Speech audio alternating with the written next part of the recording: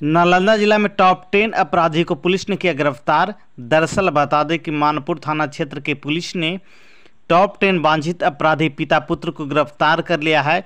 गिरफ़्तार बदमाश अदौली चक निवासी स्वर्गीय राम बहाल सिंह के पुत्र संजय सिंह और सुशांत सिंह शामिल है। दोनों रिश्ते में पिता पुत्र हैं।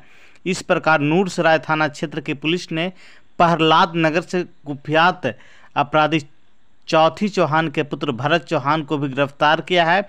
पुलिस ने इसके पास एक देसी कट्टा, दो कारतूस, पाँच खोखा और तिरपन पुड़िया, ब्राउन शुगर भी बरामद किया है, सदर डीएसपी रूलू हक ने बताया कि पुलिस को सूचना मिली थी कि गुरुवार की शाम में भरत चौहान गुसाई बिघा गाँव के खन्ना में अपने साथियों के साथ किसी अपराध की योजना बना रहा है। इसकी सूचना पर पुलिस ने घेराबंदी करते हुए उसे गिरफ़्तार किया है।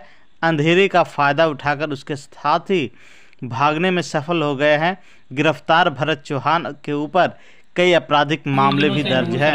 थाना अंतर्गत प्रहलाद नगर के एक एक अपराधी है भरत चौहान। ये इसके काफ़ी सक्रिय होने की सूचना मिल रही थी काफ़ी जगह उठ बैठ और अपराध की योजना बना रहा था और हथियार के साथ भी घूमने की सूचना मिल रही थी।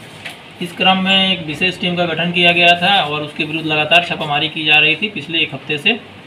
और कल दिनांक अट्ठाईस को हम लोगों को संदेह में सूचना मिली थी कि वो जगह अपने साथियों के साथ बैठकर किसी अपराध की योजना बना रहा है। तत्काल कार्रवाई करते हुए विशेष टीम द्वारा छापामारी की गई एवं उसे खदेड़ कर पकड़ा गया है।